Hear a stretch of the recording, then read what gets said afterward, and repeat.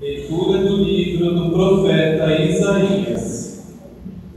Naquele dia, o Senhor dos Exércitos dará neste monte para todos os povos um banquete de ricas iguarias.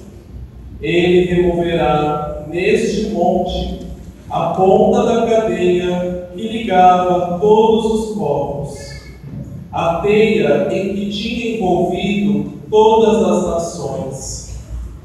O Senhor Deus eliminará para sempre a morte e enxugará as lágrimas de todas as faces e acabará com a desonra do seu povo em toda a terra.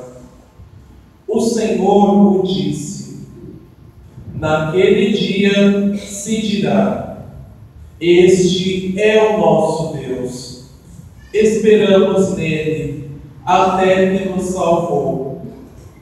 Este é o Senhor, nele temos confiado. Vamos alegrar-nos e exultar por nos ter salvo. Palavra do Senhor.